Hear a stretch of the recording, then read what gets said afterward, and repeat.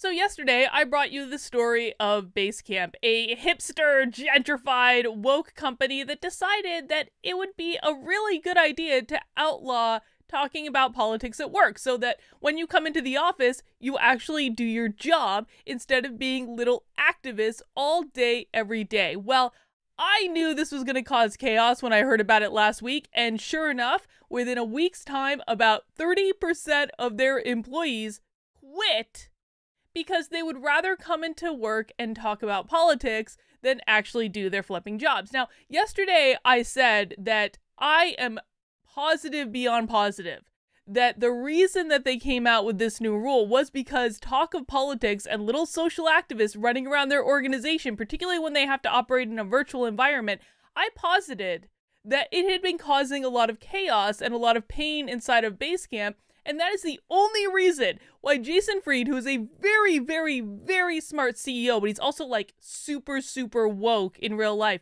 I posited that the only reason that he would have made this business decision would be because it had caused so much pain already and inhibited their productivity, was reducing team morale. And I said, this has got to be like Jason Fried does not make decisions willy nilly. The man has written like umpteen really good books actually about workplace culture and he's built his business so smartly. It is a very successful business. The dude does not make decisions off the cuff. He's not going to change something like this that he knew going into it was going to have ramifications unless there is a really good reason for it. Well, guess what? Now, thanks to The Verge, we have a little bit of inside information about the struggle session that ensued at Basecamp. Let's just take a look at this first paragraph before we dig in. At 8 a.m. Pacific time on Friday, a bleary eyed Basecamp CEO Jason Fried gathered his remote workforce together on Zoom to apologize. Four days earlier, he had thrown the company into turmoil by announcing that societal and political discussion would no longer be allowed on the company's internal chat forum. So, just in case you missed yesterday's video, this is all about the company's internal platform. They, they said employees could still talk about politics in their free time. They could still talk about politics with any employees that were willing to engage with them. They just couldn't do it on the company's internal platform. And that was just too much to bear for 30% of their staff. In his blog post, Fried said the decision stemmed from the fact that today's societal and political waters are especially choppy, and the internal discussions of these issues were not healthy and hadn't served us well. The public reaction had been furious, and Fried said he was sorry for the way the new policies had been rolled out, but not for the policies themselves. Good for him, he did not bend the knees. So we're going to take a look at the rest of this article. We're basically going to read the whole thing and just enjoy the drama and the struggle session of it all because I'm sorry, this is just good quality entertainment and we don't get this stuff coming around every day. But before we dig into that, listen, I want to talk to you guys about another thing that has really helped my stress level in the past couple months. I always said that if I was going to shill products on my channel, it was only going to be for stuff that I actually believed in. Well, I was one of those people, you guys know, like, I love, like, you know, holistic remedies and I'm into the spiritual woo woo stuff. Well, I had always seen CBD oil like at the supermarket, I would be like, oh, I want to try that. I want to try CBD oil, but I would never kind of come back and do the research and figure out what was the right one. And then I got introduced to this one, HempWorx, which I really, really like. And the reason I like this, dude, let me tell you what. I was having such trouble sleeping. Like, it was just, it was not good. It was zapping my energy. I wouldn't be able to focus because I wouldn't be able to sleep at night. And then I started doing a couple of drops of this stuff underneath my tongue in the morning and at night. And it has made light years of difference in terms of the quality of my sleep. It's just like super simple, man. And they come in a variety of flavors. This one is cinnamon, which I really like because I really liked those red hot candies as a kid but it also comes in all sorts of other ones um i think they got an orange one they've got peppermint ones they've got all sorts of different varieties that you can try i have the full spectrum cbd oil so if you want to give this a try yourself, and it has lots of other benefits. The the sleep one is just the most pronounced for me, but if you want to give this a try yourself, hit up the link in the description below. I'll also pin it in a comment underneath this video on YouTube and you'll help support the channel, but you'll also get to try some awesome CBD oil that could help you in any number of ways. And thank you guys for supporting the channel. It really helps me out. I greatly appreciate it. All right, let's get back to our struggle session, shall we? Let's see.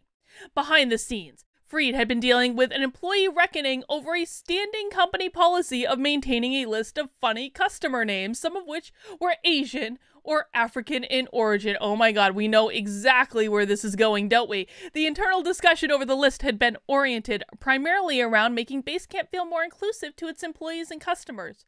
But Fried and co founder David had been taken aback by the employee post, which argued that mocking customer names laid the foundation for racially motivated violence and closed the thread. They also disbanded an internal committee of employees who had volunteered to work on issues related to diversity, equity, and inclusion. And this is what I'm talking about. Once an issue in an organization gets to this level where there are actually policies enacted by the CEO, it didn't come out of nowhere. This was a lot of little things that added up over time to them saying, that's really, really counterproductive to our business goals. On Fridays, employees had their chance to address these issues directly with Fried and his co founder. What follows was a wrenching discussion that left several employees I spoke with in tears. 30 minutes after the meeting ended, Fried announced that Basecamp's long term head of strategy, Ryan Singer, had been suspended and placed on investigation after he questioned the existence of white supremacy at the company. Oh my god. It gets even better. Over the weekend, Singer, who worked for the company for nearly 18 years and authored a book about project management for Basecamp called Shape Up, Stop Running in Circles, and Ship Work That Matters, resigned. Within a few hours of the meeting, at least 20 people, more than one third of Basecamp's 57 employees, had announced their intention to accept buyouts from the company. And while many of them had been leaning towards resignation in the aftermath of Fried's original post, the meeting itself pushed several to accelerate their decisions, employees said. The response overwhelmed the founders, who extended the deadline to accept buyouts indefinitely amid an unexpected surge of interest. And let me just say at this point this is a good thing. It is a good thing. Is it going to cost a little bit of temporary pain for Basecamp as they fill these positions? Oh, yeah it's going to cause some pain. It's going to suck for a hot minute. But at the end of the day, what's happened in this is you've taken employees who are more interested in talking about politics at work than they are in doing their job, and you have shown them the door. In the long run, this is going to be the very best thing to happen at Basecamp because what they're going to get the opportunity to do is to bring in people who actually want to do work. I know that's a foreign concept for the workplace, but they're going to be able to bring in employees who actually want to do work and don't care about talking about politics when they're at the office. Politics should be outside the office. Politics should be separate from real life. You don't bring this crap to work. And I don't care if I agree with your politics or I disagree with your politics. When you're at work, you're there to do a job. You're there to work with other people, regardless of whether or not you agree with who they voted for. This is one of the very best things that could happen long term for this company in terms of their productivity. This account is based on interviews with six Basecamp employees who were present at the meeting, along with a partial transcript created by employees. Oh, I'm sure that that transcript is 100% accurate. Collectively, they describe a company whose attempt to tamp down on difficult conversations blew up in its face as employees rejected the notions that discussions of power and justice should remain off limits in the workplace. Then those employees can go work somewhere else. Then they can go work for a little woke company where they do woke things all day and never actually get anything done. I promise you, in the coming years, we are going to see really successful companies be absolutely shaken to their core over what woke employees are going to do to them. It's going to be a glorious scene to behold. And they suggest the efforts to eliminate disruptions in the workplace by regulating internal speech may cause even more turmo- turmoil for the company in the long run. My honest sense of what everybody is leaving behind is everyone is leaving because they're tired of Jason and David's behavior, the suppression of voices, of any dissent. They really don't care what employees have to say. That's not true. If they don't think it's an issue, it's not an issue. If they don't experience it, it's not real. And this was the final straw for a lot of employees, dude. If you've ever read one of Jason Fried's books. That is fundamentally not true. But what I do know about him from reading his work is he is actually focused on the end goal in mind, which is to build and run a successful business. And what he's doing in this, because again, my understanding of him is that he's like uber woke in real life. But my best guess at what happened is that he saw that infusing woke politics into your corporate culture only damaged productivity. And that's why he wanted it removed. While Friday's meeting would eventually grow heated, it began on a conciliatory note. Fried, who employees described as looking tired, began the meeting by apologizing for announcing the policy changes by a public blog post rather than telling all employees first. Hansson, his co founder, tuned into the meeting from bed where he reported that he was feeling ill and after making introductory remarks turned off his camera for the duration of the meeting. Fried opened the floor for comments and questions. For the next two and a half hours, employees pressed the founders on policy changes, the events leading up to them, and the state of the company. The first part of the meeting was devoted to discussing events that unfolded in the company's internal Basecamp chat last month, in which an employee cited the Anti Defamation League's pyramid of hate to argue that documents like the funny names list laid a foundation that contributes to racist violence and even to genocide. Basecamp, a project management tool. Literally, that's what it is. It is a project management tool. It is a piece of software that is contributing to genocide, apparently. Roughly 90 minutes into the meeting, Singer raised his hand and spoke. One of Basecamp's most senior executives, he had joined the company in 2003 when it was known as 37 Signals and consisted of just four people. From his original role designing interfaces, Singer had risen to the, become the head of strategy, essentially Basecamp's chief product officer. Along the way, he had also alienated some of his coworkers by promoting conservative views. Oh my god, so what you're saying is conservatives aren't allowed to talk about politics at work, but everyone else is. It's just people who have views that disagree with you that it's totally okay to silence their voices, but everyone else should be allowed to talk. In 2016, three employees said he praised right wing website's Breitbart coverage of the presidential election in an internal forum. They remembered from four years ago that he said something nice about Breitbart in a forum? This is the best thing that's ever happened at Basecamp, mark my words. About a week before rolling out the policy changes, the founders deleted nearly two decades of internal conversations from previous instances of Basecamp and its other collaborative products. Among other things, this made it difficult for employees I spoke with to accurately describe past interactions with singers in the forum. In the April discussion about the list of customer names, Singer posted to say that attempting to link the list to genocide was absurd. Oh my god, Basecamp had a voice of reason and they have literally driven him out. This is why this all happened. This is what is going on right here. They had one voice of salient reason in the company, and they drove him out. Uh, let's see. On the Friday call, he went further. I strongly disagree. We live in a white supremacist culture, Singer said. I don't believe in a lot of framing around implicit bias. I think a lot of it is actually racist. Oh, so he's not allowed to express those views, right?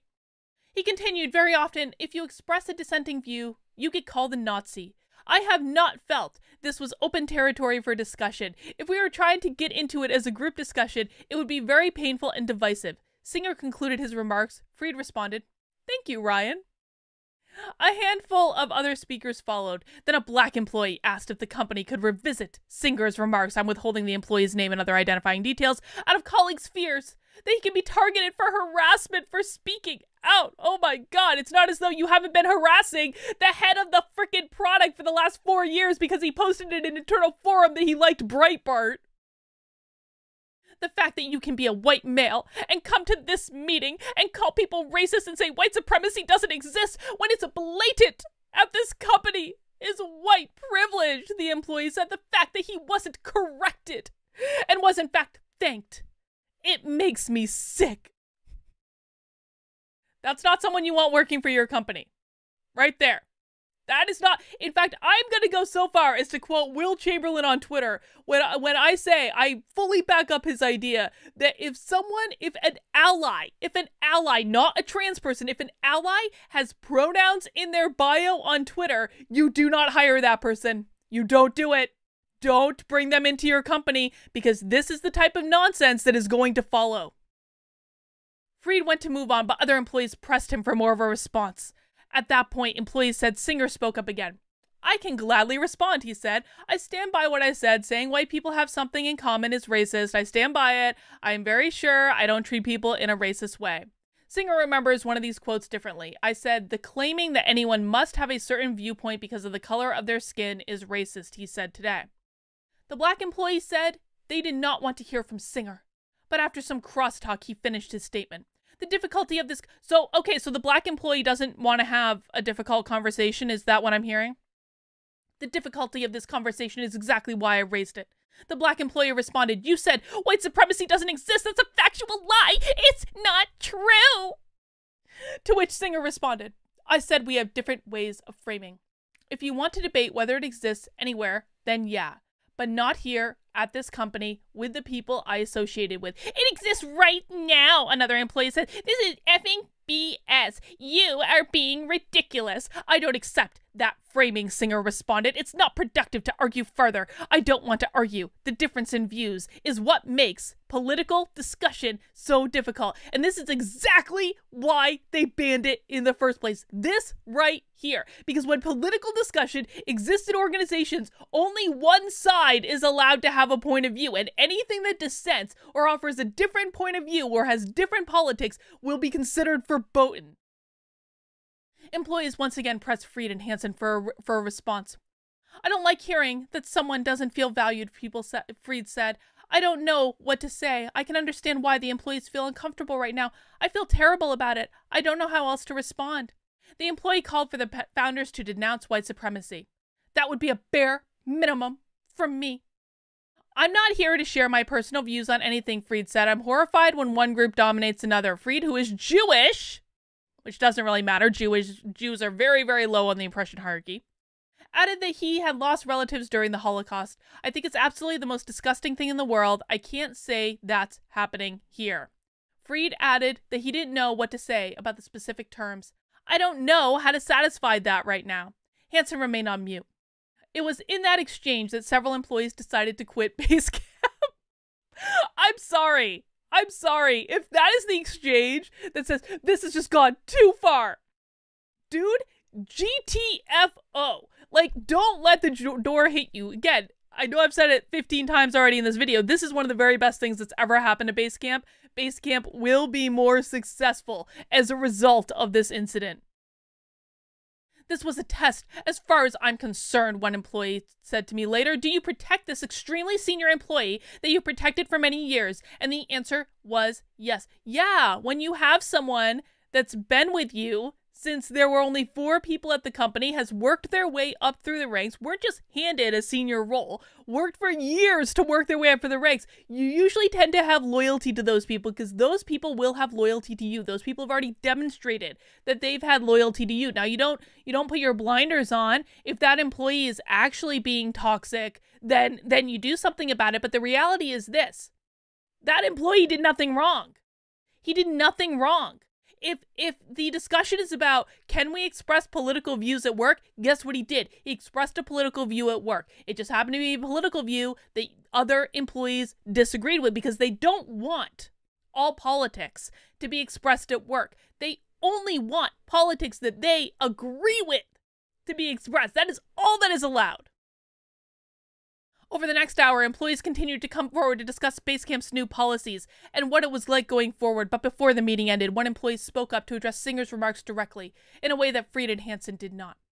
Racism and white supremacy are not things that are so convenient that they only happen when full intention is present or true malice is present, the employee said. Evil is not required. We're not so lucky as for this to come down to good versus evil. It's as simple as creating a space where people do not feel welcome. Well, if you don't feel welcome, GTFO. The employee continued, the silence in the background is what racism and white supremacy does. It creates that atmosphere that feels suffocating to people. It doesn't require active malice. It's not that convenient. The meeting broke up after mo no more employees had questions. Ha half hour after the meeting ended, Fried posted an internal note saying that Singer had been suspended pending an investigation, and that is where he bent the knee. BS. BS. That really upsets me. And I, I get that Jason Fried's under a lot of stress, but um but I applaud Ryan Singer for quitting when someone does not show loyalty to you over nonsense.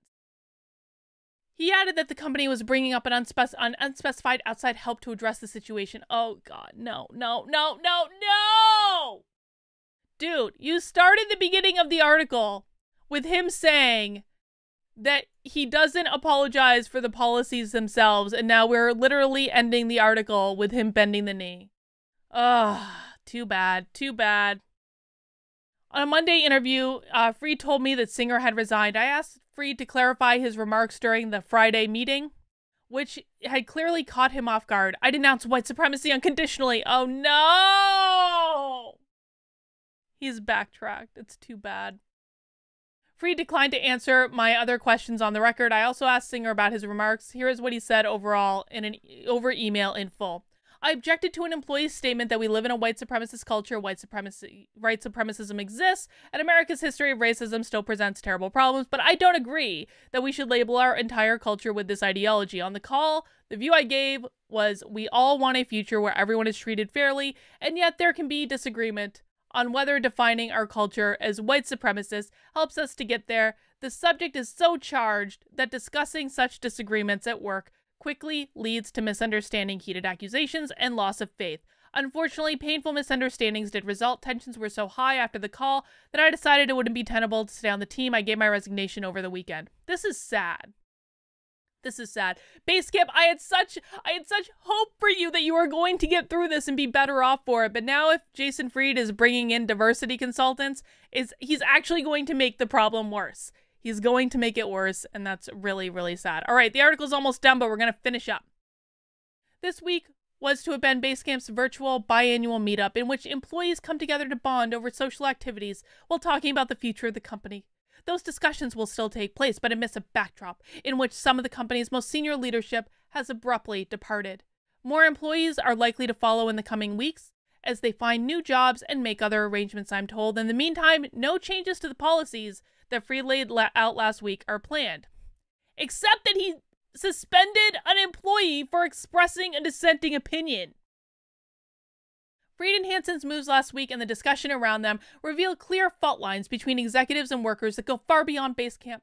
Founders at Coinbase, Basecamp, and other companies that have sought to quash internal dissent that, in their view, distracts workers from the company's mission and makes everyone miserable. To a manager, the exchange that led to Singer's departure could lend credence to the idea that addressing social injustices on a company's Zoom is bound to be disastrous. Exactly! That is the point. That is why you don't have these discussions at work. Meanwhile, employees at these companies have recoiled at what appears to be transparent efforts to prevent their workplaces from becoming more diverse, equitable, and inclusive. No, no! That's not what this means, dude. Like, you can have all different levels of diversity at work and then still not talk about politics. These are two different things. No one I interviewed offered a confident prediction about how the past week's events would affect Basecamp over the long term. I'll offer a confident position. If Jason Fried does not bend the knee and he he backtracks on whatever diversity consultant he's thinking about bringing in this will be better for them in the long run. I will firmly put that stake in the ground. I do believe that if jason fried stays the course does not bend the knee does not bring in stupid diversity consultants it will he will be better off in the long run. On one hand, it's clear that the five books Fried and Hansson wrote lecturing other people about good management made them a lot of enemies, at least on Twitter, where they have been criticized relentlessly. Well, no, their books are actually pretty great. Um, and they're making enemies on Twitter because they went against the narrative. On the other hand, one employee told me it's not clear the average Basecamp customer knows or cares much about Basecamp, the company, and no one predicts a mass result, a revolt rather, of the user base. But as much as the conversations about Basecamp's move have been framed as politics, it seems important to remember that the entire affair began when a third of the company, not all of whom were among the 20 who have departed so far, by the way, volunteered to help the company become more diverse and equitable. It was only when the committee dug out a skeleton uh, out of the company closet, the list of names, that Frieden Hansson moved to shut the whole thing down. It was actually a positive thing we were doing. Well, no, they think it's positive.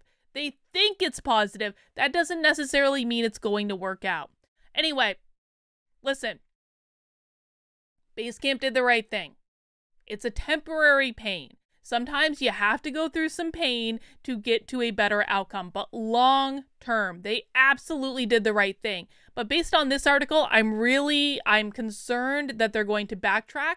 Uh, I'm concerned that that they really didn't maybe I I thought based on reading that blog post they absolutely understood the backlash that was going to come at them. I'm a little bit more concerned now. But hey, we'll watch it. It's going to go one way or the other. At the end of the day, Basecamp is currently a really successful company and um we'll just have to watch and see what happens in the future. All right, guys. That's all I've got. I'll see you soon.